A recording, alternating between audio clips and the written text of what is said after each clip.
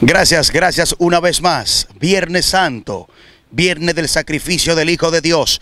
Estamos en estos momentos apostados aquí frente a la Dirección de Seguridad de Tránsito y Transporte Terrestre DGC, con asiento en San Francisco de Macorís dirección que es comandada por el coronel Ramón M. González González.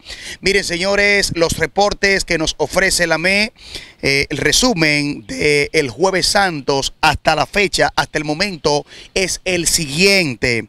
Eh, hecho lamentable en el día de ayer y de conocimiento que dábamos a conocer el fatal accidente acontecido en Nagua, donde dos personas perdieron sus vidas en un choque entre dos vehículos, donde también resultaron tres personas lesionadas. El, más, hecho más significativo y más lamentable en el jueves santo, en el día de ayer y hasta la fecha que reporta la DGC.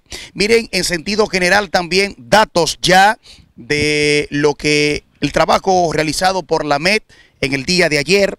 En el jueves santos tenemos que la MED retuvo 118 motocicletas fueron retenidas.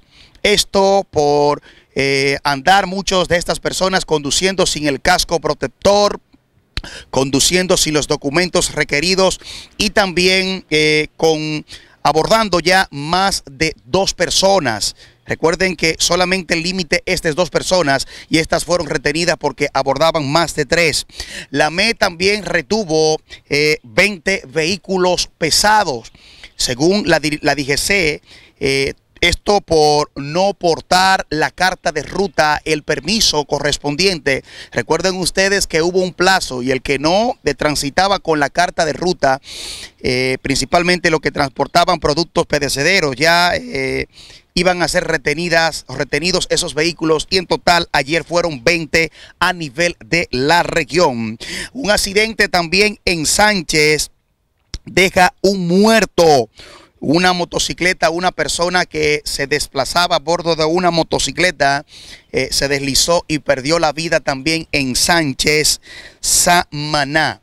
Ha sido parte del recuento, repito, hasta el momento del jueves santos y lo que inicia de este viernes de lo, el resumen, ¿verdad? A nivel de la región de que nos reporta la DGC.